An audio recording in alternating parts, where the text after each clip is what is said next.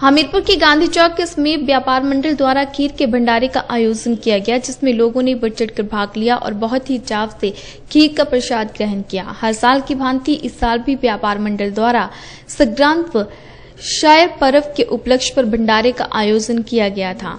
यह भंडारा अपर व्यापार मंडल के सभी व्यापारियों के सहयोग से लगाया गया। वहीं व्यापार मंडल के अध्यक्ष अश्विनी जगोता ने बताया कि शायर पर्व के चलते खीर के भंडारे का आयोजन किया गया, जिसमें लोगों ने बढ़ चढ़कर भाग लिया और प्रसाद ग्रहण किया। उन्होंने बताया कि हर साल ही खीर का भंडारा लगाया जाता है, जिसमें सभी व्यापारी अपना सहयोग देते हैं। जैसे कि आपको पता है, हम हर माह की संक्रांत को एक छोटा सा माता रानी का भंडारा लगाते हैं। उसी पलक्ष में ये भंडारा लगा लेकिन आज एक और खास दिन है, जो हमारे हिमाचल का एक खास त्यौहार है, सैर आज वो भी है। तो उस पलक्ष में हमने भंडारा लगाया हुआ है। इसलिए से लगा रहे हैं हर माह लगाते हैं।